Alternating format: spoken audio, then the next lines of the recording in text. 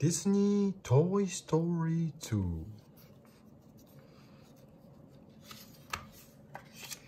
Disney Toy Story 2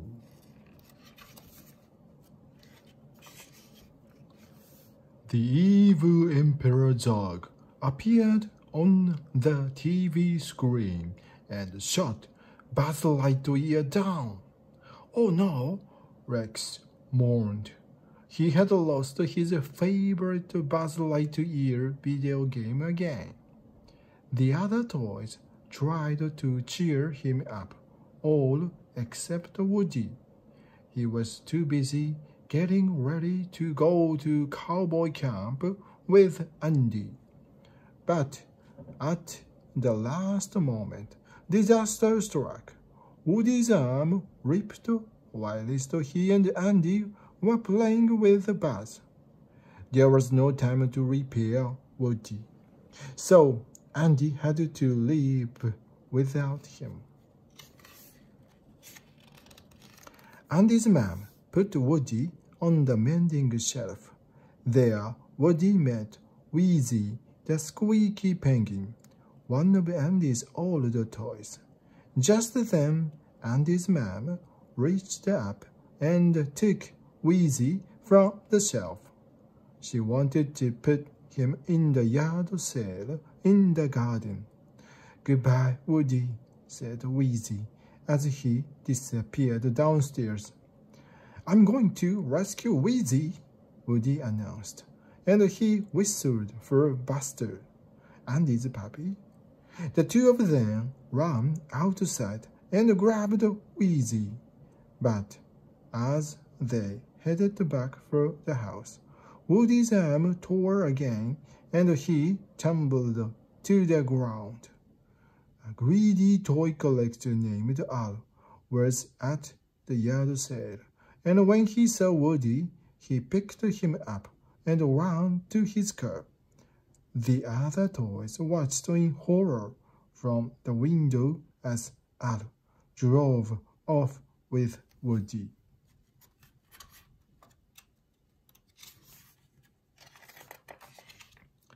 Al took Woody to his apartment and locked him in. Woody looked around for a way to escape, but instead he found a floppy little horse called Bullseye and a friendly cowgirl called Jessie. Let's show him who he really is, said an old prospector doll in a box. Jessie turned on the TV. Woody was amazed as he watched Woody's roundup, staring Jessie, the yodeling cowboy, cowgirl, Stinky Pete, the prospector doll, Buzzard, the horse, and the sheriff, Woody. Woody couldn't believe it. He had once been a television star, and now he was the last piece in a valuable toy collection. Is selling us all, selling us all to a museum in Japan, explained the old prospector.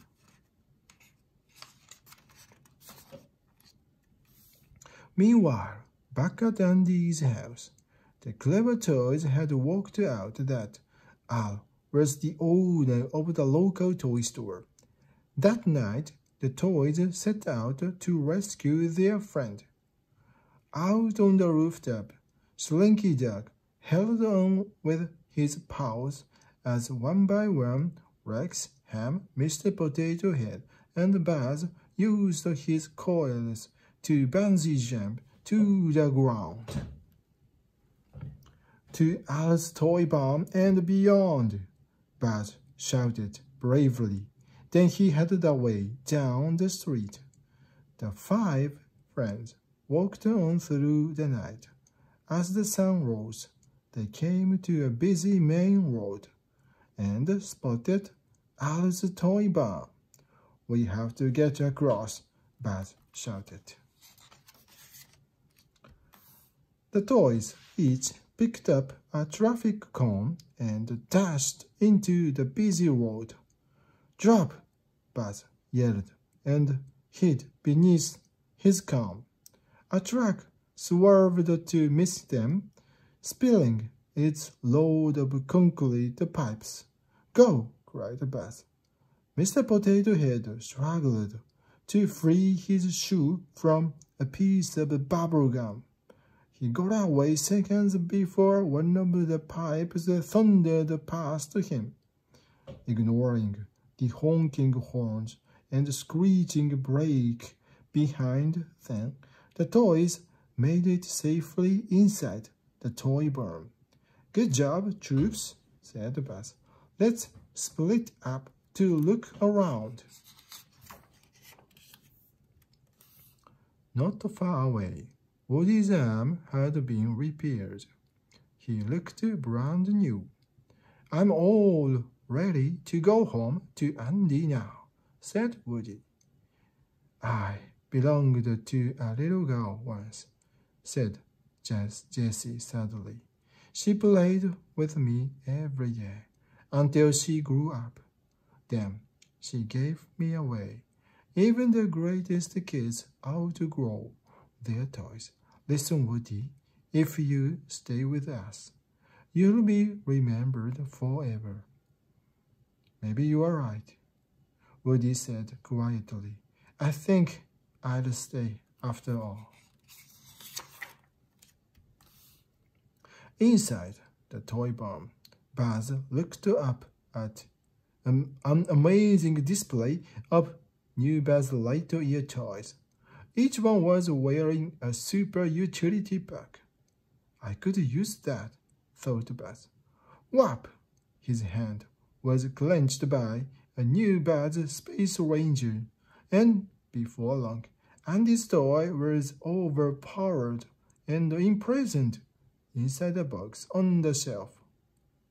The new Buzz thought Andy's toys were on a mission to defeat the evil Emperor Zurg, so he joined Rex and the others, who were touring the store in a toy sports car. They stopped outside Al's office. He was on the phone.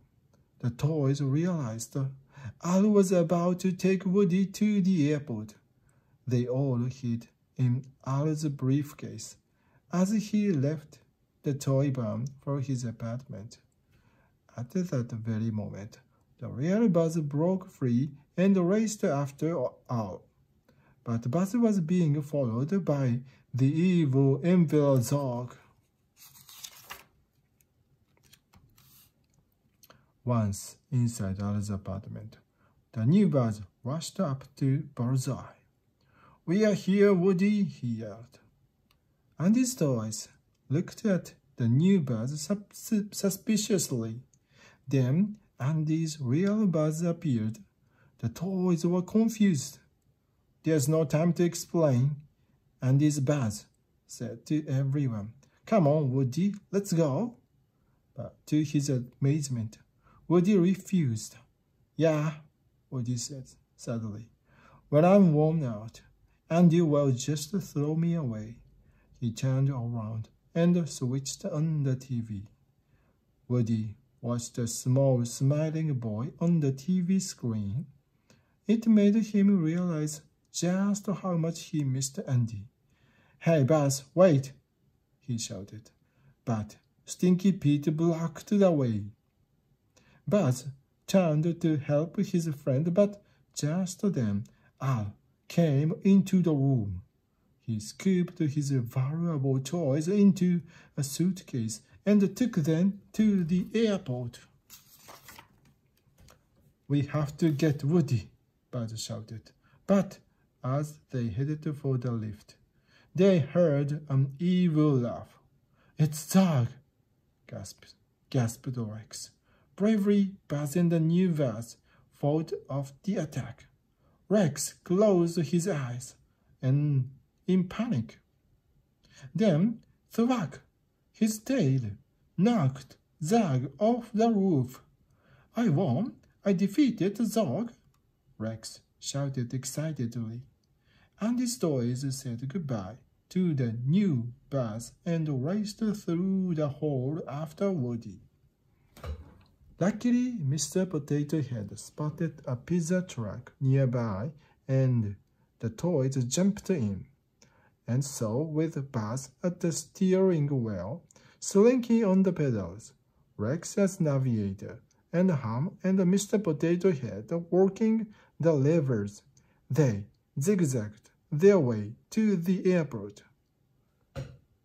There, the toys ran inside desperately, looking for Al. They found him. He was still at the check-in desk as Al's suitcase thumped onto the conveyor belt. The toys jumped on beside it.